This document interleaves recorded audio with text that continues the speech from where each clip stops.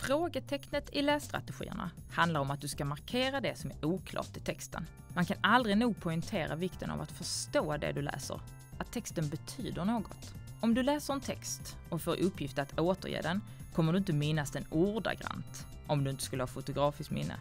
Det är alltså inte orden i texten du minns, utan snarare förståelsen av texten. Att söka efter mening och förståelse är en av de mest typiska kännetecknen för hur minnet fungerar. Förstår du inte det lästa kommer du med stor sannolikhet få problem att minnas det. Därför är det så viktigt att vara noga med frågetecknet. Det finns en spännande undersökning som visar att det är lättare att minnas när informationen betyder någonting, när den har en mening. I undersökningen lät man deltagare studera och memorera flera bilder av kludder, det vill säga streck som bildade nonsensbilder. En del av deltagarna fick förklarat vad varje bild med kludder föreställde.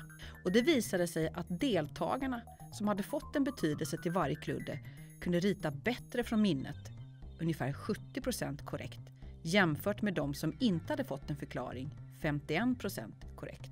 På samma sätt blir det lättare att minnas följande 14 bokstäver om de får en betydelse. FB, CAS, OS, FF eller FBI, ICA, SOS, FF, BFF. Den tydliga slutsatsen är att du minns bättre det du förstår. Därför är det viktigt att stanna upp och markera det du inte förstår i texten. Investera tid i förståelsen är precis vad nästa strategi, förstoringsglaset, handlar om.